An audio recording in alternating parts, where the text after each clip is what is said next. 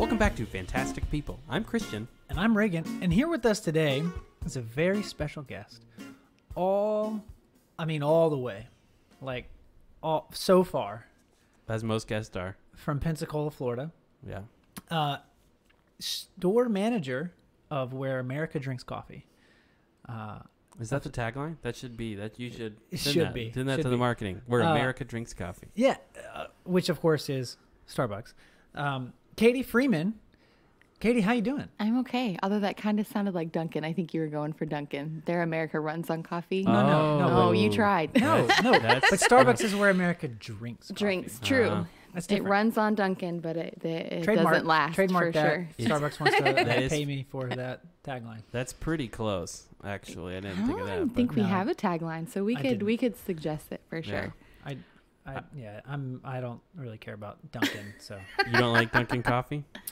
I don't dislike it, but it's just not that. It's not. It doesn't stand out. I don't like coffee in general, but my in-laws are from New England, so they're hardcore course. Dunkinites. You have to. Not. I mean, okay, I'm gonna say it because we're here. Dunkin' coffee is like a step up from the off, like the office coffee, you know, that you get in the break room. Uh, Very yeah. true. No, I'm. Is it a step up though? It might just be equivalent. It's at Well, least a step you're up. biased. Yeah, I will stop at Dunkin' before I get it. I am office. biased just a little bit. Although little bit. in my office we have those like glorified In your home office now, or at Well, your? no at my office I know, office where yeah, I I don't go anymore. Um, we have those like big machine. It's like a Keurig, but it's like five different espresso. versions of coffee and Yeah. iced Yeah. and it's Yeah, yeah, yeah. Starbucks. So Yeah. I mean, I guess that's not true anymore because you can you can do that. But I uh I speaking of working from home, I crossed the year mark this week. I have been I have worked from home for a solid 12 months now and it's I don't ever want to go no, back. I think I've hit that as well.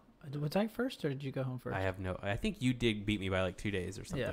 The government is slow to everything, right, so right. hmm Agreed on that. even one. if they knew about COVID well before everybody else. we it was were an the inside job. we were the yeah. Oh god. Sorry.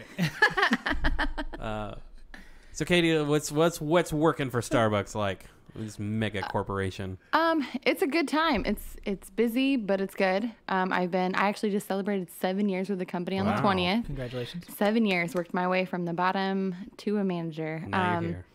but it's good. It's we actually did record sales last week, nine hundred dollars shy of fifty thousand dollars Wow. to fuel fuel America, as you said. Um, but it's good. It's a lot of leadership involved, a lot of developing young minds, all while serving coffee. So that's why I like doing it. That is cool. hmm That's um, you know, Starbucks is weird because it's. I don't drink coffee. I don't have the affinity for that. Mhm. But it was a place I was always interested in working when I was like, you know, looking for a job. Like, it seemed like a good company to work for. Oh yeah, we're actually uh top uh Forbes like 100, but we're in like the top 10. Uh, I know last year we were number five. It was like Disney was number four, and we were number five. So I was like, oh, Wow. if you can't work for Disney, you can just work for Starbucks. It's kind of the same thing. So, Wow. um, yeah, I really our company really strives for the values of humanity Mm-hmm. versus is just a cup of coffee. It's definitely people first, then you just happen to hand them a cup of coffee. So um, that's definitely the reason I stay. They take care of their people 110%. Um, so yeah, you would have to like pry me from leaving Starbucks. I absolutely adore my job. That's, That's awesome. cool. That's really cool. I, I I like Starbucks coffee. Oh yeah. Um, is do I like how much I have to pay for it? No. No, I, I kind of with you Um, there too. But I mean, you know, there's value beyond the coffee. I think that's what they offer in Mm-hmm. the atmosphere. Um, I said it. Ameri- that's where America drinks coffee. I mean, you Mm-hmm. go in, you feel at home. Uh, it's a great place to be. So I, I, I do appreciate that for sure. We definitely take care of everybody. Like we say, it's called the first 10 feet and the last 10 feet. The first 10 feet are the farmers, the last 10 feet are your baristas, and we take care of everybody in between 100% to make sure that everybody is taking care of whatever they need, whether that's agriculture. Um, like I know my favorite story that we've ever done is we developed um, coffee rust resistant trees.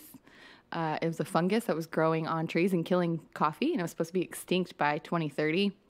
But Starbucks invested all this time, money, scientists into making rust resistant trees. So now coffee should not be extinct from the world because I don't know how anybody would survive without Wow. coffee. So um, definitely a company that takes care of their people in all aspects, not just the ones you see every day.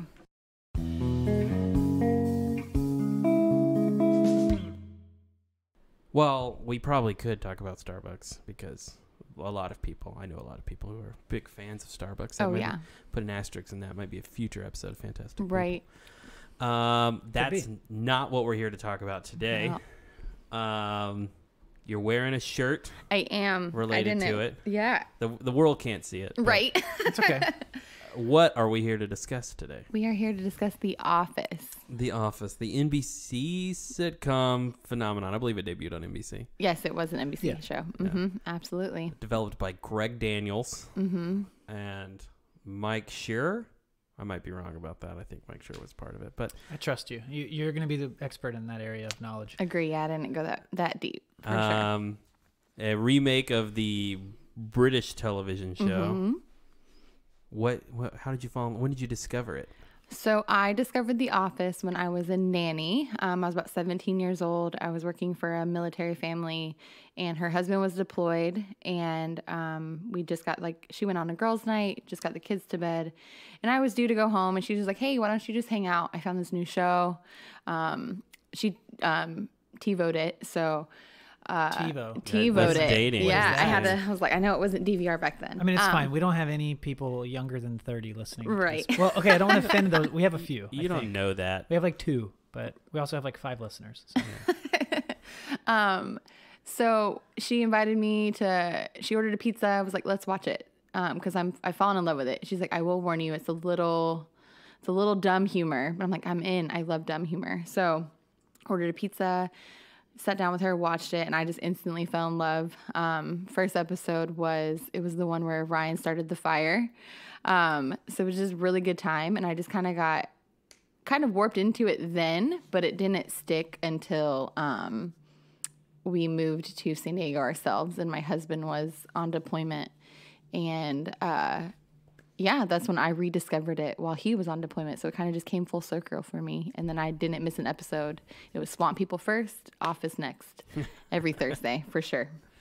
So I want to be a little unconventional from our normal Okay, formatting let's here. hear it, let's hear it. uh, Since we, all three of us really enjoy the show, uh, Christian, when did you first experience it? Oh, that's tough. Um, probably 2007, 2008 ish. Um, I really don't remember specifically uh, how I came about watching it. I just remember by like season five, I watched every week. You know, I did not catch it in the beginning, um, but probably around season four, season five, I became a weekly viewer. And then when it came to Netflix, of course, that's when probably I'm not gonna say my obsession started, but that's when the constant, uh, you know, uh, preference to just choose The Office over anything else. Um, that was the era of I could watch something new or I could watch The Yeah. Office again, Mm-hmm. And that's my life. that's probably where I really like truly fell in love with it. Yeah. How about you? Uh, I, I guess it would have. It's probably 2008, maybe. When did the show come out? 2006. Uh, I think the first season 2005. I think four, it four? aired Oh, in like geez. 2004 or 5. Yeah. Okay, so maybe it was five or six, or seven. I don't know. Doesn't matter. Um, and it was at. I'd been aware of the show, uh, but it was at a, a friend's house. Um, I, I think it was like a birthday party or just a bunch of people hanging out. I don't know. And it came on TV, and one person was like a huge fan. It was like, "Oh, you guys gotta watch the show," and I was like, "Man, this is so stupid." Like, and I'm into stupid humor, which is kind of weird, but like, I just wasn't. I wasn't getting it right. Yeah. Was it a season one episode? I, I think it was, Yeah. or it might have actually been season two. It was, I mean, it was when it was like running constantly, you know, reruns. Oh, yeah. So I'm not sure what season it was, but it was one through three for sure. Um, The drier seasons. Mhm. Well, you had to, and we'll get into this, but you, you had to know the characters to understand the humor at that point, Uh-huh. and it was so far into the show that I didn't get the characters at all. So that was just really stupid. Um, but then you know, a couple years go by, and everybody's still talking about it, and season six, I believe, is coming up on a finale, um, or maybe five, and Hulu was really starting to become a thing at that point, streaming TV shows and it was one of the first ones available. So I said, oh, I'll go check out this show. I guess it seems to be pop culture, uh, and then got through the first three or four episodes, and then just couldn't get enough. I binged the whole all the way up to wherever the current episode was, Mhm. so that I could watch um, as it went. Of course, it. I kind of really got into it as the the peak was ending. Uh huh. Uh, you know, the Michael story was ending. Um, but I don't, I don't care. I still kept. I, I thought it was all great. Sort of. How many times do you think you've watched the show top to bottom? It's got to be at least 20, at least. That's so much television. Like watching it through, like deliberately. Yeah, 20. That's 180 seasons of television. That's a lot, but I don't mind. It is a lot. Um, it's definitely like a, uh, we have like a rotation of shows. We have like a top five that we rotate through. The Office is always my choice. My husband is a Parks and Recs guy, so Oh. we alter between those two. also, Greg Daniels. Oh yeah, hmm and then uh, Friends is number three, um, and then we have How I Met Your Mother, and then we throw MythBusters in every now and then to kind of to okay. spice it up. That's kind of like the do watch while you're doing the dishes kind of thing. Yeah, Or- like just in the background when you're falling asleep, um, or just background noise. Mm-hmm. Um, he grew up on television. I grew up on music, so our Mm-hmm. music tastes are very different. So, but our TV tastes are not. So we usually alternate the TV shows. that's lucky. yeah, mm. it gets on my nerves because I still prefer all my music all the time, but it's okay. Yeah, as does my wife. Mm-hmm. Um, but her music taste is wrong. Oh no, Wrong. It's just Love you, honey. I feel like if we were to go off on that, so we Very would it narrow. would it would turn into a it would reveal some stuff, Mm-hmm. probably. Uh, yeah, I mean, we, her and I, we watch very similar television. Um, we try to be good about not rewatching things, but we are currently rewatching How I Met Your Mother because I think that was like the first sitcom we watched together as a married couple. really. It's Ah, just such yeah. a good show. It's I've so I've good. not seen it. Chelsea saw it all. She watched it on uh, maternity leave the first time.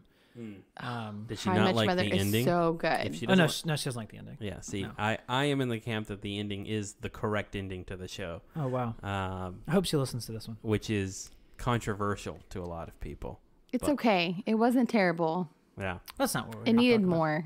But I uh, feel like that's almost all TV shows at this rate. Like, let the fans write the last season. Well, Yeah. certainly for TV, and I think this is maybe kind of true for The Office as well.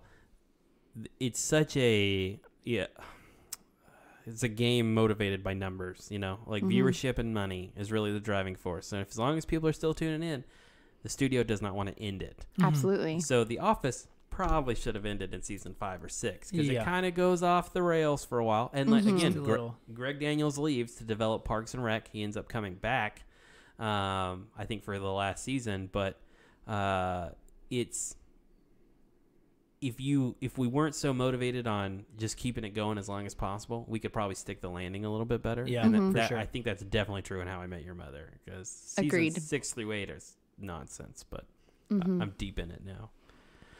Um, do you guys have a favorite Office character?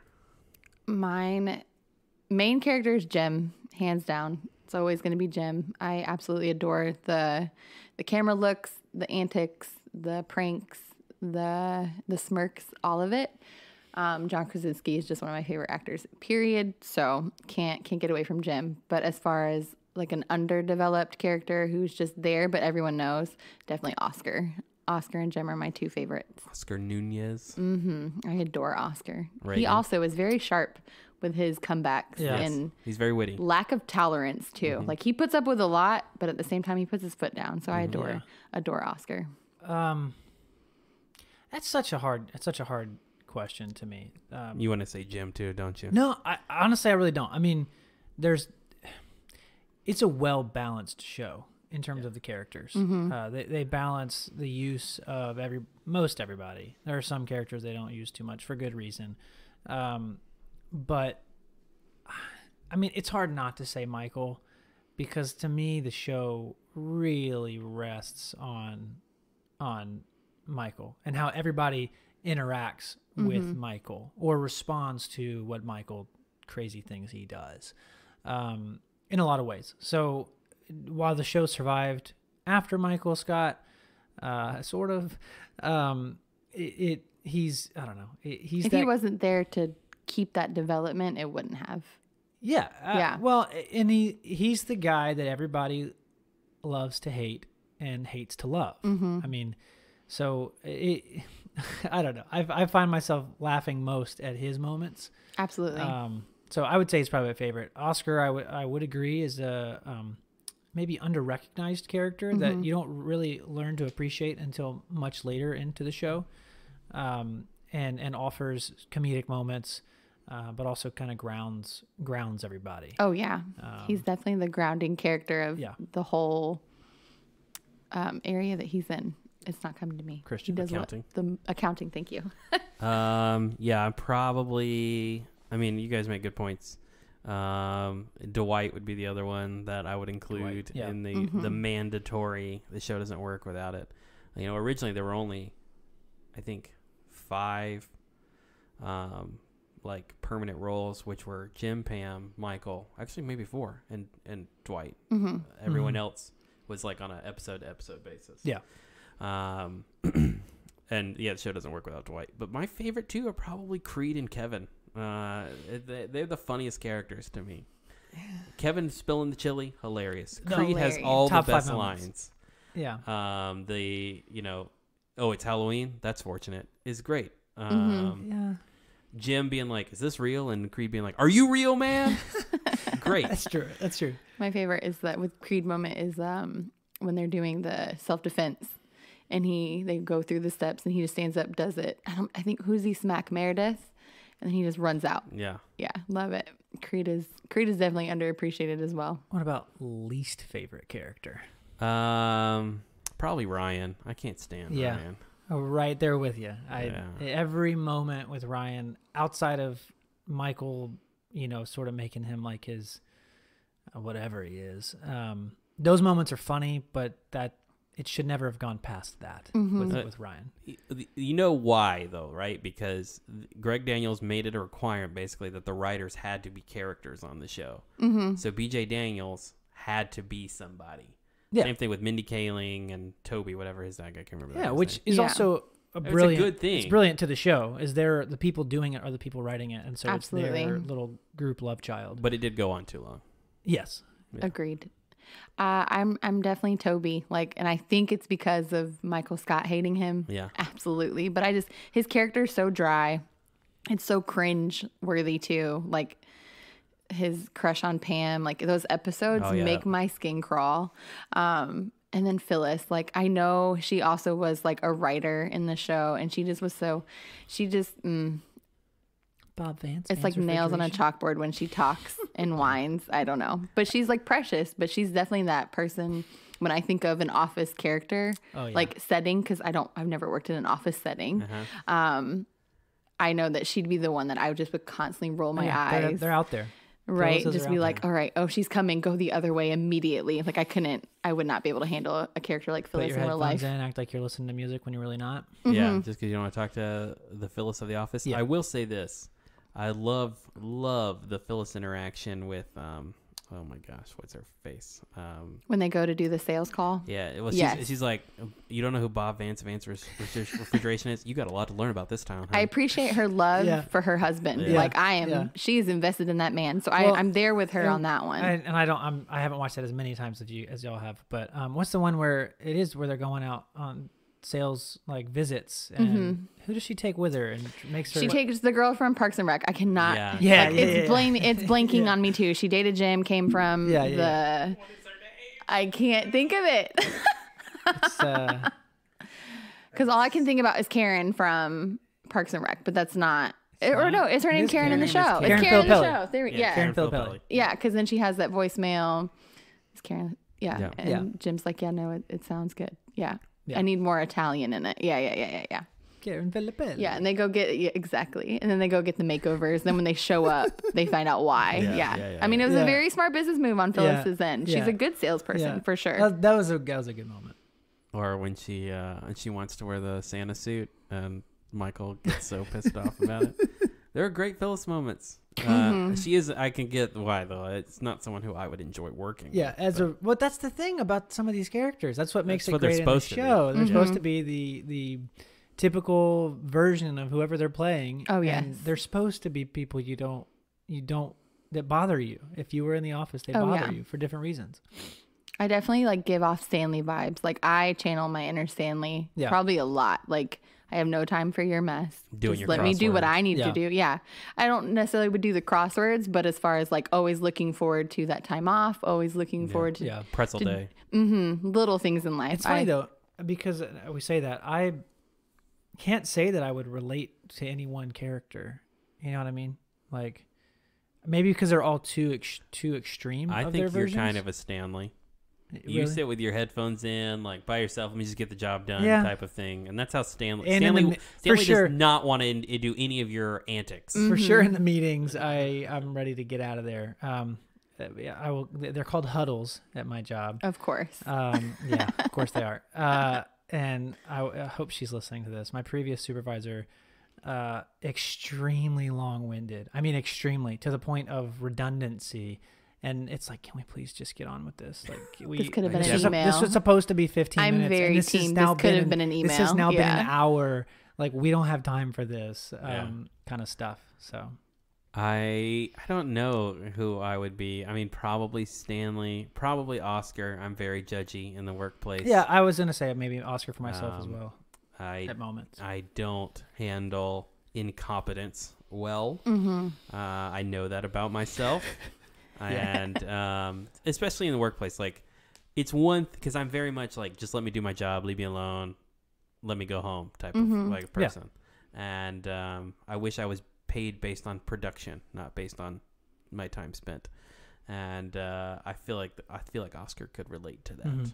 Absolutely. He Well, hates Oscar's in wasted- accounting, He- right? That's he the whole hates point. wasted time. And, Yeah. yeah. Mm-hmm. Uh, I'm, I I'm feel proud like of he's the only one in accounting actually doing accounting Oh, work. Like 100%. I mean, they I don't do even. Angela's just there to complain the They're- entire time. they do do a good point of making Angela like You said doo doo.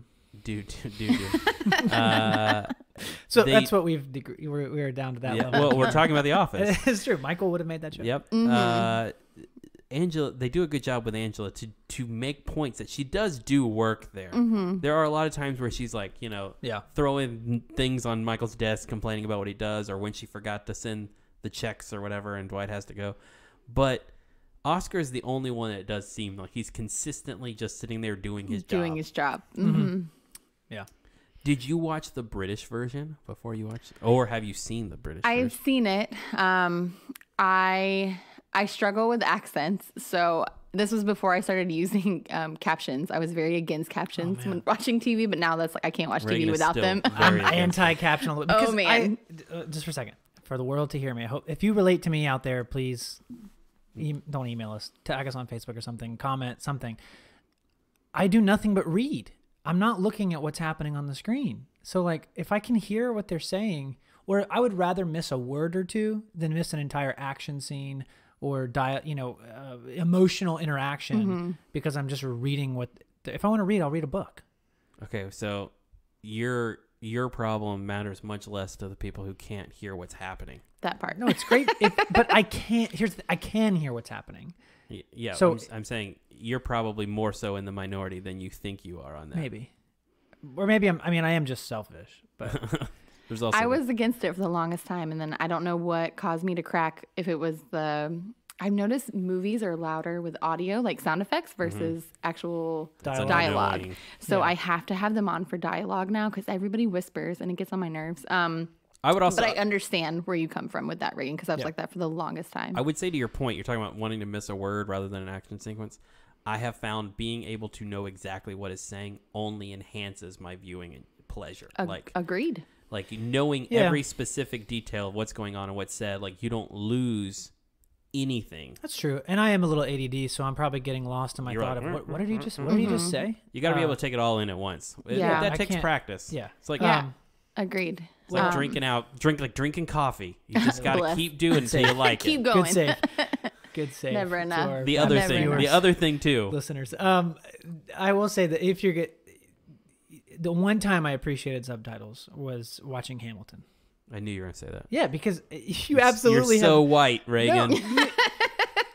the first time around. Uh, if you go back and listen to the songs, I know everything they're saying now. Even just listening to the songs over. I over had to have subtitles. But the first time Hamilton around, too. like, we Yeah, I got two too. minutes in. I was like, whoa, whoa, whoa. What is happening? What is being said Let's right pump now? the brakes, turn on the subtitles because Mhm. I'm not going to get through this without. I'm not going to understand most. of Did you see happening. the thing about WandaVision when the it was the Modern Family Office like episode where she was like, You could, uh, if you had subtitles on, you could hear her thoughts. Yeah. You have to go back and watch it now. Yeah, we had to rewatch the episode because the subtitles For were the whispering Sure. in it. We didn't have any idea what she was Oh, saying. wow. I saw that on TikTok. Yeah. It's also okay. I we're on everything a, with we're subtitles. so much on a tangent here, but I will agree that also in moments of games or um, shows, movies, whatever, where there's stuff happening in the background on the TV, you pick up a lot more of the Mm-hmm. Oh, yeah. background conversations that you're supposed to hear, but they're too they're not prominent, so you really you probably miss miss, it. Mhm. most of it. Um, so So British Office, you watch the right. Yeah. So. anyway, Um, I knew where we started. I Good- started. good- good I job. did. I started watching that um, because I, I mean I found out about it after I watched the the American version. Um, and then I realized it was like verbatim the first episodes, um, first season all the way through. But I just I've always struggled with British television for that reason. Like the the Cockney accents are just so thick sometimes that I can't understand what they're saying. So um, I mean I've watched it. I finished it. It's definitely a drier version, which I don't know how you can get any drier than the American version, but it is a lot drier. But I do adore Ricky Gervais as an actor mm-hmm. and a person in general. I love his brashness. So I powered through because I adore Gervais. And then I also saw interactions between Carell and Gervais that just piqued my interest even more. So mm-hmm. I've seen them both. I definitely have only watched the British version once mm-hmm. all the way through. Um, I probably won't rewatch that one just because I know what's going to happen I for appreciate sure. your honesty. Ne- Yeah. never seen it, but I definitely appreciated, or I thought it was brilliant when Gervais came to interview for Michael's job. Oh my goodness, Yeah, yes. that was one of my favorite episodes is so bringing in all those well-known actors. Um, and I love that they landed on Will Ferrell for that too. Yeah. Mm-hmm. Yeah. I, I'm a big fan of the British version. I like British television just pretty much in general. Mhm. Um, so the dry British humor is right up my alley. Um, and a lot of uh, that cast of that show is really, really good. Um, you, a lot of people maybe didn't realize it at the time. You know, like you talk about Ricky Gervais, Martin Freeman plays the Jim Mhm, role. Martin yep. Freeman's a huge actor. Hmm. Um, oh, A lot of big names. I'm drawing a blank on who plays the Pam character. What's her name? But she's in Wonder Woman. Uh, Oh. She came to Pensacon two years ago. Um, the Hmm. guy who plays the Dwight role is in Pirates of the Caribbean. He's in Game of Thrones. Like, there's Alright, a I lot gotta- of now I gotta see a it. lot of famous people in the British version. For those that didn't know it even existed, which I don't understand how you don't. Um, didn't mean to insult anybody. Uh, the people Wow. who hate subtitles and didn't know the yeah, British that's office. this is my Regan This is coming for people this is my best episode, I think. Um, People who like Dunkin' Donuts coffee. yeah, Right. Yeah. Um, You've got to pick a side today. I've offended five of our ten listeners. Um, anyway, I, man, I lost what I was gonna say on that. Um, The U.S. version is a remake. If you didn't know, was that? no. What you were Oh, going? how many seasons? How many seasons are there? I, I want to say it's just one and a Christmas special. It might be two Oh, and really? a Christmas special, Ah, but that's it's, so easy to get. There. it's probably like 12 episodes total. Like British TV it just it didn't pick is up. is the well, no, it, British TV is the opposite of American TV. British TV does not do the season season season thing. They don't kill it until it's Do dead they and keep killing it. though? I mean, Doctor Who. Come on. Uh, well, you got to let it die. I'm very against Doctor Who, but that's a whole different. fighting words. Whoa, whoa. You can get out of my house. We're all here to fight some battle canc- today. We're canceling this episode. this is a uncut version. Take away my top badge and everything. Removed. oh yeah, You I had think never saw that. watched Lord of the Rings. And I know. They're like, how can you be? We don't Who. want you to be our fan anymore. oh my gosh. So Hold on, just to address what she just said, I forgot to say this in the intro. She is regularly Yep. one of our two top fans on Facebook, so she interacts with us the most, which is really cool. So welcome. hey, We I'm all about supporting supporting people's dreams. Anyway, back That's to the least I can do. To, uh, what are we talking about? I'm so mad about Right, The Doctor Who. Office. We've Oh. been on Doctor so many tangents. That's what she said. That's right. She hates Uh, Doctor Who. Um, well, I'm I'm gonna ignore that. We'll talk about it It's after okay. the podcast. Yeah, it's okay. Also, a whole separate podcast. Uh, gosh, Right? I Doctor Who and Critical Role. Those would be my topics. If if Yes. I were a guest on the spot, it would be one of those Yes. two things. They're good seasons, but the show in general. mm. Um, so you you're not a big fan of the British version. You love the American version. Mm-hmm. There's talk of maybe a reboot or a sequel of some sort. How do you feel about that? Leave Yeah, it please no. alone. Um, I I'm not a fan of reboots for anything. Um, I'm just very let the original be the original. hmm Um, I just worry about fans have these ideas already of what what it should be and it's not fans writing it it's definitely the same producers or directors and i feel like that creative energy just gets lost after time has been spent and fan theories just go crazy. Like we're witnessing it right now with the mcu like the fan theories are out of control and they're having to wind that in. So i would just be concerned with the fans being disappointed because I would be probably up there with disappointment. Um, while I love the idea of more episodes and things of that nature, um, I just kind of want it to be original. Like when they sent out the last blooper reel, like they'd never seen Mhm, mhm. before, cold open with the Matrix and Dwight. It it was very nostalgic for me, and I remember just like the the pure happiness on my face when I was watching it and I watched it like five times. My husband's like, Why are you watching the same thing over and over? And I was like, Because we haven't seen office material in like seven years. So while I would love it, I would hate it because I had these high expectations. So I hope they don't do anything like Yeah. that Yeah, for that's- sure. That is the double-edged sword Mhm. on you know kind of fan ownership of anything. Mm-hmm. Is that we one we think our ideas are best, and then two we set the bar way too high to be able to enjoy the product. Mm-hmm. Um, surprisingly enough, I I would say the one exception to this recently has been Zack Snyder's Justice League. That there was a lot of excitement. A lot of people were very curious into watching this, and for the most part, most people seem pretty pleased. Oh coming yeah, out no, of it. was they never should have put out the first one. But that's that's different though because that's a version of something that was released That's true. that That's true. that had edits and cuts differently, and maybe m- are definitely a more pure version of what was created already, All 100 percent as opposed to rebooting or redoing, Yeah. or Yeah. coming back to do more. Mm-hmm. Uh, it was just. Because I think like for the Justice League, those are two different, same storyline, but two different versions. Yep. Whereas if you're rebooting something, you have to like scrape like an together adaptation, material. yeah. You have to go back and look at, all right, where are the storylines? Because like, where would we pick up? We would pick up Angela and Dwight's life, Ryan and Mindy's life. yeah. We don't need it. Um, what is Jim doing now that he's in Philly type thing? Where is Craig Robinson and his part of it?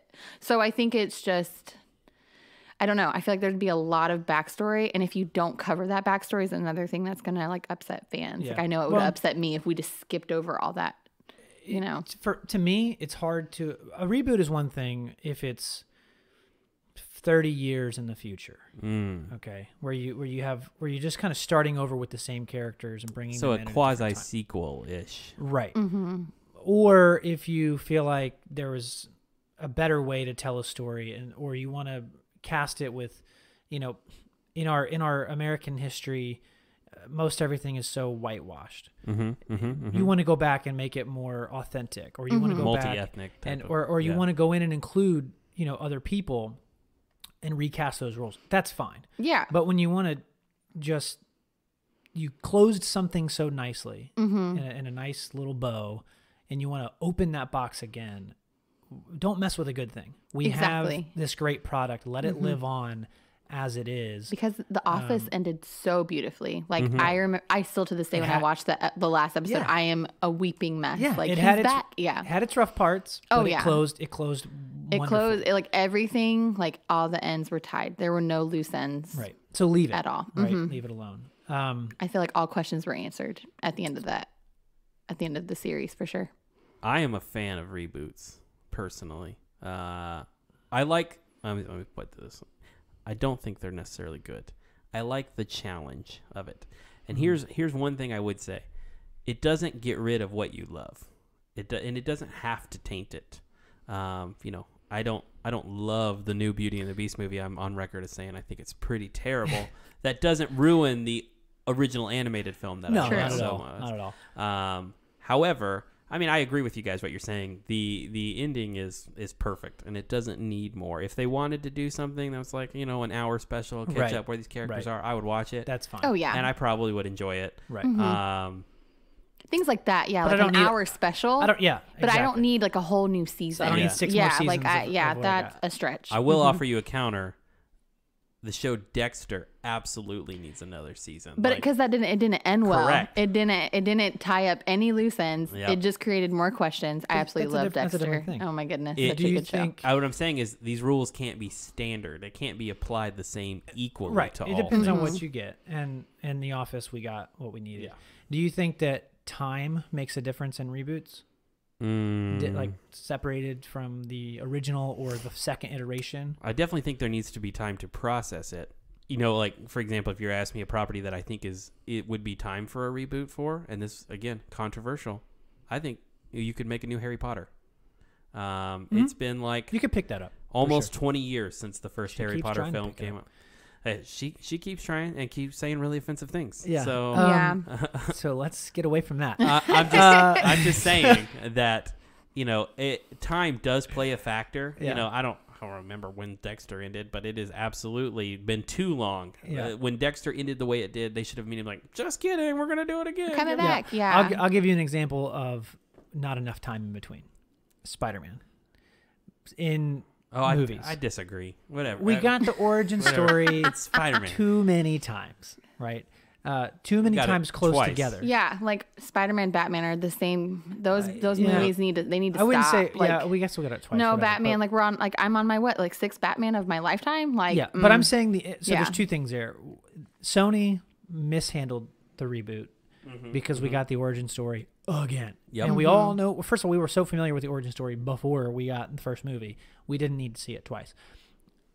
MCU handled it well because they just skipped over. All they of skipped that. over that. Started with a Mhm. new character, started with a new universe per se, but but kind of in a nice quick little fast forward Mhm. gave us gave us the the story. They did the same thing with Hulk.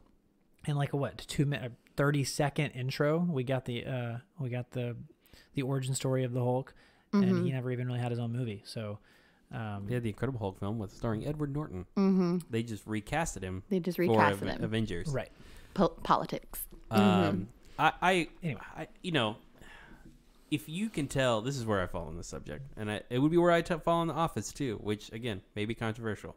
If you can tell a good story, um, I don't care how many iterations there are. Like if you, if someone said, "Hey, I want to do a different version of The Office," and it's completely different. Oh yeah, It's not abs- just like a yeah. reboot of Jim Mhm. and Yeah. Pam. It's all new characters, but it's about you know what it's like to work every day in an office and the awkward Mhm. things you're gonna do. and it's 2021. And it's 2021. It's a different world. You know, you'd have to deal with COVID or whatever. Like, Yeah. I think Yeah. that would be an interesting show. I would watch that, and as long as as long as it's a well-made product, Yeah. I'm on board. No, I'll, I- allow, I'll allow it. Uh, Yeah. I, I like how you put that, Katie. I do agree.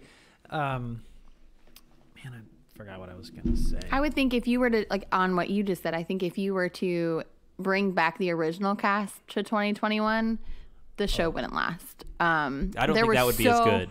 Well, I think it's just uh, there's just so many things that you could get away with in the early 2000s versus now. Mm. Um, yeah, people understand satire humor far Mm-hmm. better in our generation than they do now. So I feel like the newer generations would be very quick to go, no, we can't say that. Absolutely can't say that. yeah. Um, because The Office definitely danced that Oh, it fine should- it line. it would've gotten canceled Absolutely, yeah, it would be completely canceled these days. But I think it's we knew back then that these are people we deal with in and out of real life, Mm-hmm. but at the same time, we were the ones standing up, like going up to the plate and handling those situations head on. Like, hey, this isn't okay. Like, Mm. let's think of a more constructive way to talk about this. And I think, but we still like allowed people to um to grow in their development. Like, okay, what I said was wrong, so I'm gonna fix it this way. Similar to like how Michael Scott did that with everything he ever offended Yeah. anybody with. He was like, oh wait, you know, I didn't mean it like that. You're right. Let's circle back with that. Yeah. Um, so yeah, I, I I don't think it'd be a bad thing. I think it would have to be like you said, a whole new cast, a whole different dialogue, um, because I don't feel like the original cast could carry that well, Yeah, if that makes sense. I definitely think that part of, um, I don't know, cancel culture or whatever you want to say, whatever word you want to put on it, is actually born out of kind of the lessons of The Office. Because when uh, the thing about The Office that's really interesting is it's not. I guess it depends on your opinion, but it's not glorifying these things. Like Michael constantly learns lessons. Like Absolutely. he messes up, and that's the Right. other great thing about Michael Right. Scott is that Michael never does anything out of malice. Mm-hmm. Mm-hmm. He just does it because out of ignorance. And when people po- point it out to him, he it breaks his heart that he ever Yeah. hurt, Yeah. that he ever Yeah. hurt or offend anybody. Um, and so I think a lot of the kind of the attributes, or a lot of those attributes, are kind of what's inspired things, quote unquote, like cancel culture, because you you you you don't want to hurt or offend or upset anyone if you know better. You know, should you be that way? Yeah. Um, so it's it's weird because I think it kind of taught the lesson that I do think it probably would suffer from today Yeah. in a lot of ways. Um, that grace period Yeah. of Yeah. allowing somebody to grow in that role like i think about the the episode with oscar when he like is forcing oscar to kiss him and they go through with it and then he leaves and then as the oscar's boyfriend is picking him up he's like i wonder if he knows that's his roommate i wonder i wonder if he knows like he still has that ignorance there but Right. you know that he's taken a lesson from it mm-hmm. so i definitely agree that that's a lot of what the office is Yeah. Um, which makes it even better. All the humor involved for sure. Yeah. So after after all these years, um, what keeps you coming back? What's your favorite thing? What keeps you coming back? I think it's just the humor and the relatableness of it. It's just so simple. It it there's no um while they touch on like hot topics of what that time was, like there's planking era, there's the parkour. They really tied in the the social what is hot right now. Um into the show. So to me right now that brings back a bunch of nostalgia of quote unquote simpler times. But I do think it's just timeless. Like the content doesn't age. It stays very relatable all the time. The relationships, the um we talked about like the cast and can we relate to they're all extreme, but we see that each day. So I think it's just it reminds you of what you actually deal with outside of your own like four walls. Um, so that's why I just keep going back. It's just the storyline is awesome, and they they do very well in following the storyline episode after episode, but still touching almost everybody in each episode. Yeah, I think that it um, it is a show that builds on itself, um, not just in story but in humor. And to my point earlier, you if you just come in the middle, you know, season three, and you watch an episode, it's not going to make any sense. It's why is that funny? That's the dumbest thing ever. Um, because they're playing on some of the jokes are playing on information from episodes back with the character interactions. Uh, but also, you have to. Uh, oh, and one of my favorite things about it, I guess, you have to understand the people or the characters to understand the jokes that are being made, their, their personalities. And I'm a big proponent on, you know, you can get into a workplace, it doesn't have to be an office, but anywhere, and it's people, right?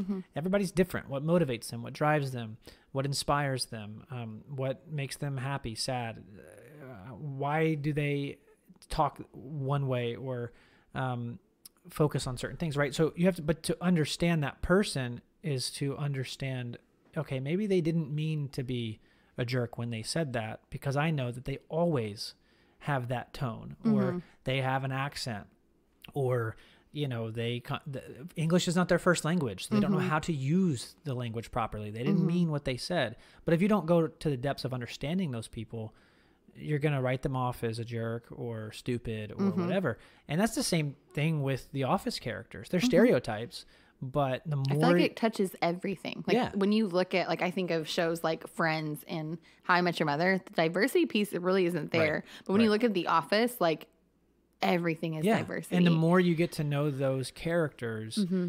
the more you understand the intricacies of the humor that that you're that you're seeing. Um, and so you you can't just watch season one. You can't just watch season six. You have to go from start to finish every time because it gets funnier. It gets um, Mm-hmm. more personal, more relatable to these characters, um, which I think, to your point, makes it timeless. hmm absolutely. This is my one of my final questions I would ask. Do you have a like recommended episode to tell people? Do you have a favorite episode or do you have an episode that you're like, watch this and tell me what you think? It's a little late now because pretty much everyone's watched it, but It would depend on who I'm trying. It depends on my audience. Like if I'm if I'm talking to like a girlfriend who is in love with love stories, uh, definitely the episode where Jim and Pam get married. Like it's kind of- number one is one of my favorites. Like the dialogue where he talks about, um, you know, st- or plan A was this, plan B was Yeah. this, and plan C was that. That that part just gives me goosebumps every single time. Like they're in the Niagara Falls, and he just looks at the camera while he's holding her, smiling. Like I break down every time. Um, so I would recommend that one for that instance. If there's someone looking for just gut busting humor, the CPR, like where um, Dwight sets everything on fire, and then they had the CPR class, like one of the best episodes out there. Um, that's so tough. I really, I don't know. Like they're all just so, like they all piece together well. So it's hard to just pick one.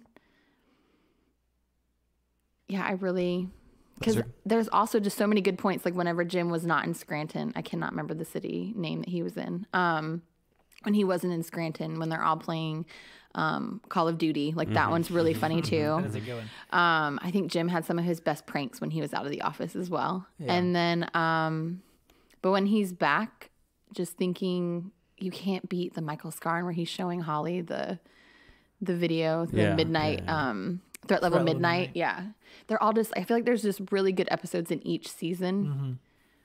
It's so tough. I, I can't. I really can't pinpoint one. Regan, do you have one?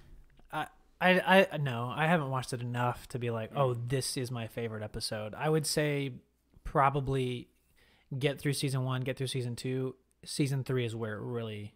Season takes three is all hits. I would say, Everything's yeah. good. So Oh, yeah, every anything, single I would in grab anything three. in season Mhm. three to say this is, uh, this is what it's all about. But again, you've got to understand and appreciate and laugh at season. Mm-hmm. You have three, to get through season have to one get and through two. one and two. I 'cause feel like any. I, I've actually had a couple of baristas who haven't ever seen it. So, um, because my all of my stuff at work is like decked out in the office. Actually, for my birthday, they just got me a Schrute Buck, and they all signed it on the back, and it just funny. hangs in my office. That's awesome. I was like, this is worth one hundredth of a penny, and I'm I'm here for it. Um, but I've had a couple baristas. I'm like, get through season one, get through season two. I need you to just hang in there, and then you're gonna fall in love. So I definitely season three is where it definitely kicks off. Yeah, I think probably my favorite episode is Casino Night, um, which is the season finale of season 2 Mm-hmm. Um, and that's just, I mean, it's a great episode. It's funny, you know. You get the weird Michael have being on a double date. You know, he's got two separate yeah, dates yeah, going yeah, on. yeah, yeah. Mm-hmm. Um, you have obviously Jim and Pam. You know, Jim finally confessing his love, and then they kiss. Yeah. And um, there's a lot. There's a the Casino Night is a great episode, top to bottom. Mm-hmm. The one I would recommend people to watch is Benny Benihana Christmas. um, I think it is one of the funniest episodes, and again, it's just a really good example of what that show is. There's kind Mm-hmm. of you know, there's the cringe humor, and Michael can't yeah. tell the Asian girls apart, and Oh yeah, Yes. yeah, yeah, yeah. um, and there are there's good character moments for everyone. Yeah. Um, there's the, the the two party there's the party planning committee and then the committee that plans parties. Right, Mm-hmm. right, right. Um, I mean it's it's a it's a great episode. It is. Yeah, uh, I would say the Dun any Dundies. Yeah. Like, Oh gosh, the good. Dundies are so good. The Yeah. original Dundie is probably my favorite Yeah. out of the original, and then the one that uh, Will hosted for sure. Yeah. yeah, Uh, I f- uh, something about I found God in this Chili's tonight or something. Like that. Something like- yeah. um, yeah.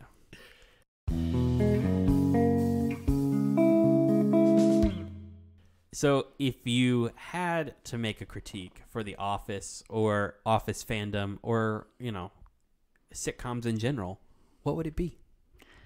Uh, I think it goes back to the like leave it alone. Let it let it be. Uh, I'm not we've already talked about not a fan of rebooting it, but if there are extra footages of bloopers, um, You want cold opens, I want snippets. I just want little tastes here and there. Um, I I feel like the cast already does really well with that. Am I No, you're good. You're good. You're good. um, I feel like the cast already does really well with that. Uh, like with um, John Krasinski and his Some Good News, he constantly brings Mm-hmm. people on the show. Angela and Pam, her name is not Pam in real life, and I cannot. Jenna Fischer. Thank Yeah. you. Um, I know Angela's real name is Angela though. Um, so Angela and Jenna have the Office Girls, and then Kevin just started his own podcast. Yeah. So I appreciate that they're keeping it alive, and that's personally the best way I feel it can be done, um, just so that we can revisit what happened and then we Mm-hmm. get their standpoint. Um, as far as like fandom goes, as new generations get introduced to it, I do worry about cancel culture because it touches on a lot of topics that are on like social injustice and things of that sort that we're facing as a country and we're just kind of like this is not tolerated. So that's where i just worry that they don't understand that this is mm-hmm. satire. Yeah. you have to look at who wrote this. You have to really look at the minds behind ricky gervais and bj novak and all these other people that they're touching on this for satire reasons to like point out our shortcomings and show you how to have humor in a nice light way um, so I feel like that's my biggest concern and my biggest critique to the fandom is just just enjoy it for what it is. Don't don't look so deep into it. It doesn't they don't go that deep. You don't need to go that deep. It's definitely not a, a deep show.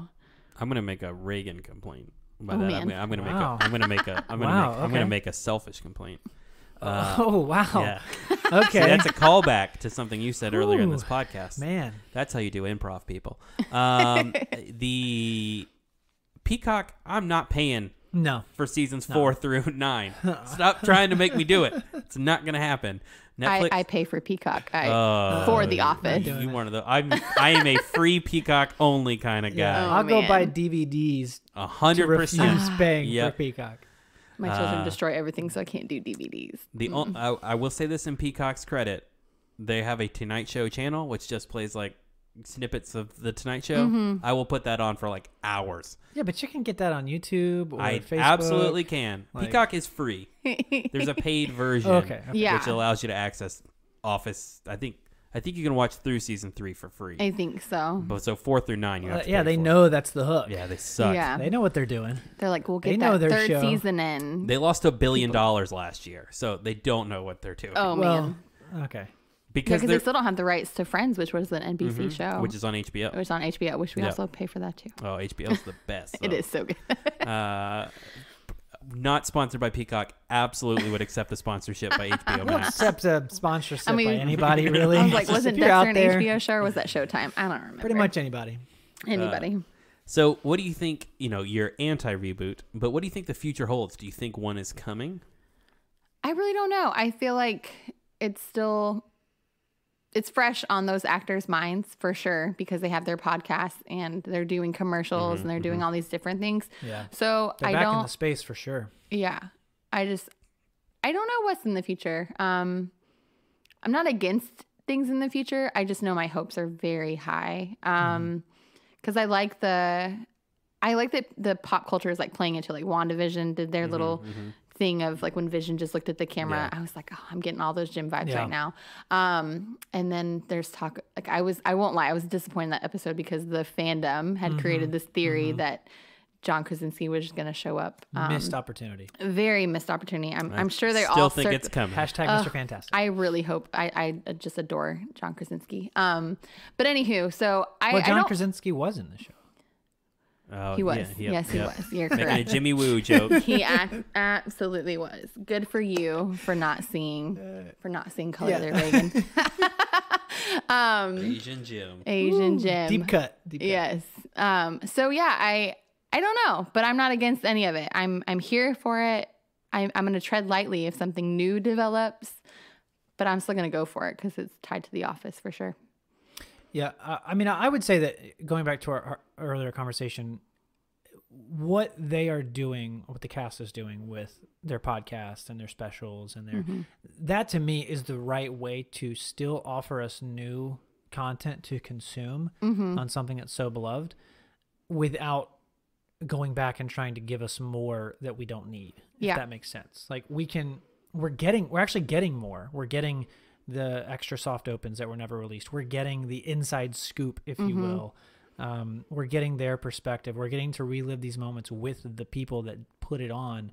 Uh, and sometimes that offers up new content. Uh, so a few episodes of The Office Ladies that I've listened to, they talk about uh, al- alternate openings or they talk about alternate scenes that were written out or cut out or oh so and so wrote that one or I got this script or I got the you know they're giving us those things without giving us those things Exactly. and, in a, a fresh way, which I think is great.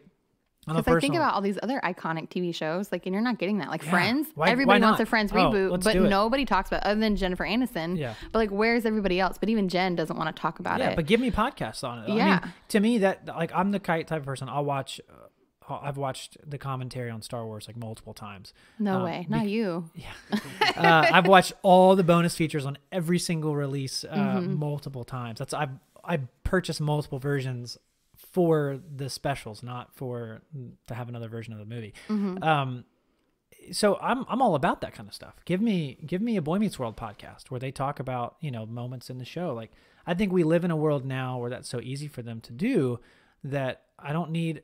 I didn't need I didn't need Girl Meets World. What I needed was a podcast about Boy Meets World. Um, and I think the Office people have captured that. Mm-hmm. Have so, absolutely captured well. that. And I don't but care still that- allow people to grow in their role. Like John Yeah. Krasinski being a director and writing things like Quiet Place is Yeah, just yeah. I'm invested because that's John Krasinski, Right. and then I'm invested in anything Steve Carell does. Um, Well, and I- I'm glad that okay, the Office Ladies is a thing. Well, sure, Stanley can do his. Oh, yeah, 'cause Kevin- that's what Um, Kevin's do doing on his, Like, mhm. go for it because it's different perspectives. We don't.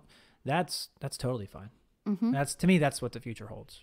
Yeah, I think you'll see. I think it's more likely we'll see of a continuation or, um, I don't even know, following of the cast and crew of that show rather than a new version of that show. agreed. Um, I do think, I, I think a reboot will happen. I, I think NBC is too tempted. Peacock loses too much money. Yeah. Mm-hmm. Having said that, you know, you talk about cold opens stuff like that. A lot of that is on. I, I you know, I dissed Peacock a second ago, but they do have extended editions of the episodes. They do. Um, They do have cold opens that weren't Yeah. seen before. That's how the Matrix one came out. Um, Peacock released it as kind of like a promo. You know, hey, this is kind of stuff you're going to get if you Oh buy my it for goodness, this. yes. Yeah. I mean, this honestly, I won't lie. That was the reason I was like, I'm in. I'll Yeah. buy it. Yeah. Well, Versus buying DVDs like or digital copies of Yeah. it for sure. and uh, Steve Carell, I mean, he's tried to do the Michael Scott character like what three times now since The Office. Well, so I mean, he just needs to go back to Michael Scott. Like that's and that that brings me, I think, he's not done with that character. I don't think. to why I I'm I don't know where it stands because Greg Daniels currently has two shows in production. One of them is with Steve Carell, Space Force, and it is a Michael Scott character. Yeah. he Yeah. is. Uh, yeah. Um, I I don't think that show is very good, Yeah. but it's, it's a little dry. I I'm- liked it, I'm I'm invested because of who's writing it, Yeah. who's in I it. I liked it. Chelsea I'm like, like, maybe it, so it's just gonna need it, its time to take off. Um, because I'm like, also Netflix doesn't.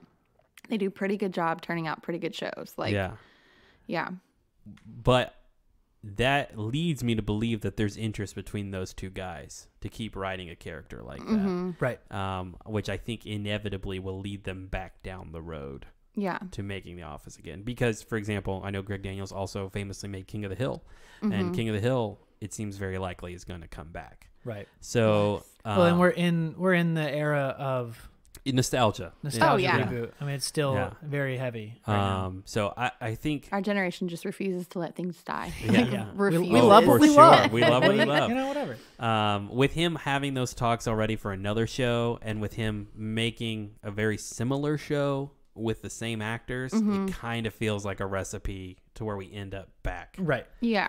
Um, and again, NBC loves money, so. Oh yeah, absolutely. Which, to be fair, in their defense, I would pay for Peacock for if they, you know, if there was like an exclusive I- I have- Office I have to reboot. know. Yeah, Yes, I I would- have to yes. know. I'm sure have to it's watch that. coming. Yeah. I'm sure.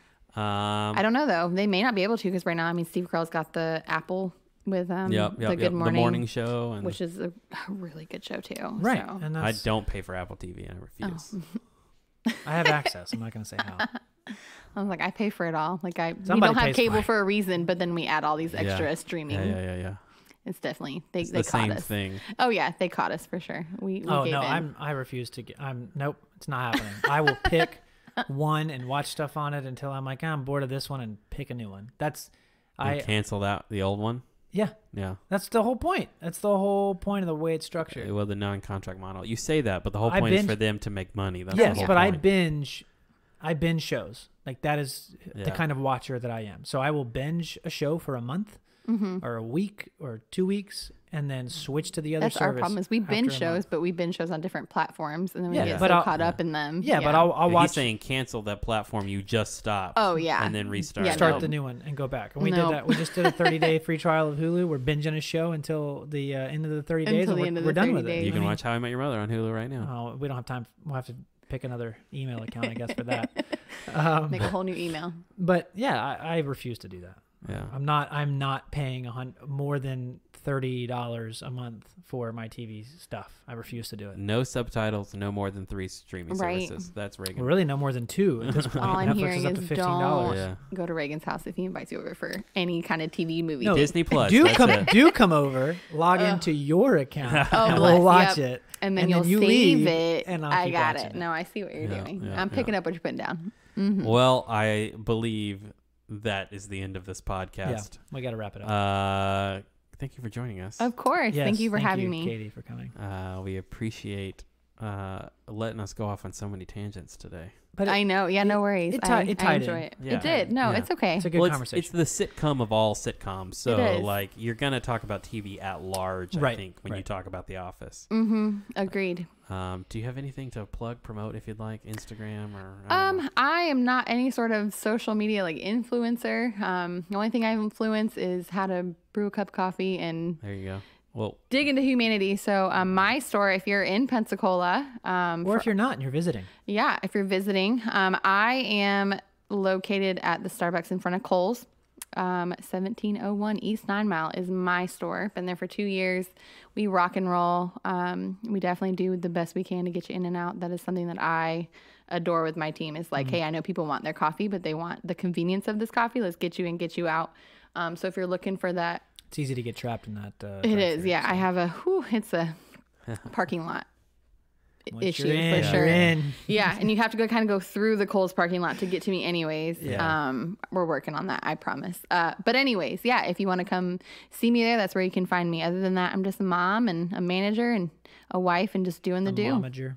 A momager, for Put sure. Put that on a shirt. Mm-hmm. Probably already exists. Well, Well, it probably trademark. does. You heard it here first. I doubt it. All right. Well, thanks, guys. Of course. Thank you. Thank you for listening to Fantastic People. Please rate and subscribe wherever you find your podcast, and follow us on social media. That's at Fantastic People Pod on Facebook, at Fantastic underscore People Pod on Instagram, and at Fantastic People, no E, on Twitter. We'd like to say thank you to Alex Edmondson for our artwork. We hope to see you guys next time. Thanks for listening.